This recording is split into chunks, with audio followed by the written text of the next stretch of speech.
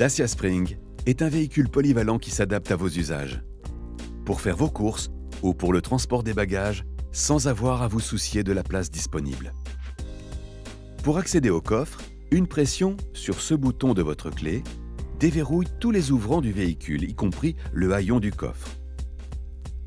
Pressez ensuite ce bouton et soulevez le haillon. Vous découvrez alors tout l'espace que vous offre votre Dacia Spring.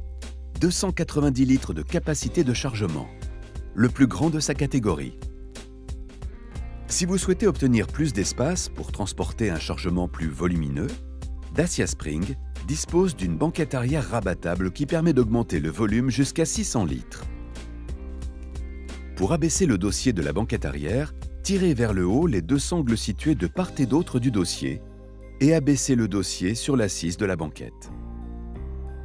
Pour remettre le dossier en place, soulevez le dossier jusqu'à la verticale et poussez-le vers sa position finale. Assurez-vous que le dossier est correctement verrouillé dans les ancrages de chaque côté. Puis vérifiez le bon positionnement et le bon fonctionnement des ceintures de sécurité arrière après chaque manipulation de la banquette arrière.